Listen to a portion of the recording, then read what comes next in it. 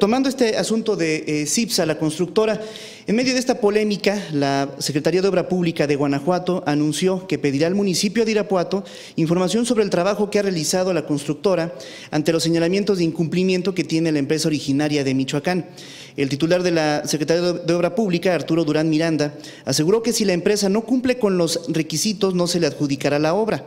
aunque fue la que presentó la propuesta económica más baja, como lo acabamos de escuchar en el reportaje de Carmen Pizano. Arturo Durán dijo que tienen conocimiento del incumplimiento por parte de la constructora en la obra del Parque Irecua, la Casa de las Familias, esta obra emblema de la administración de Sixto Cetina además de otros contratos con los que tampoco se ha cumplido en tiempo y que han llevado a CIPSA a pagar diversas multas. Durán reconoció que los antecedentes de la empresa tendrán que ser tomados en, cuenta por el Comité de Fallos al momento de tomar la decisión sobre a quién se adjudicará el contrato para la construcción del hospital en el que se proyecta invertir hasta 860 millones de pesos. Esto es lo que dijo Arturo Durán Miranda